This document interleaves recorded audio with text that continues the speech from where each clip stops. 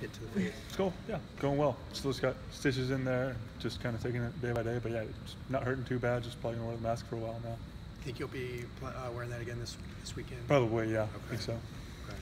Or said he might make you wear it, given you gave, made so many threes the other day. Yeah, yeah, no, yeah, we'll see. I mean, I probably will end up wearing it for a while just to give it a little more uh, time to recover in case I get hit again. But yeah, just one of those things. Alex and Gigi, what did you think about the way they played? I mean, obviously their roles have kind of changed with the two guys out. They've got more minutes.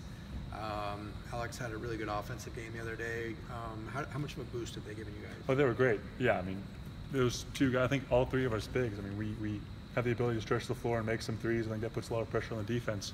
Uh, but those guys especially, because yeah, that's one thing that they can bring to every game is uh, making threes and creating uh, off the bounce too. So I was glad to see them do so well, and I think they can just uh, continue moving forward. What stands out to you about Utah in film so far? About Utah? Yeah. Uh, they're a very young, very athletic team. I mean, they're they're very uh, they, I guess, have a lot of offensive firepower. They uh, kind of run their offense through Justin Bibbins, and he's a very good player. Uh, but yeah, I mean, they're going to be a, a, very tough test for us, but I think we'll be ready for a fight. Have you played against Justin Bibbins before? You guys are both kind of local. Yeah, I've never, guys? I've never okay. played against him. I knew him growing up, but yeah, I never actually had a chance to. Oh, oh I guess uh, at Long Beach State, he was there. I played against him in college, but Okay. never in high school or adolescent years. Okay. Yeah.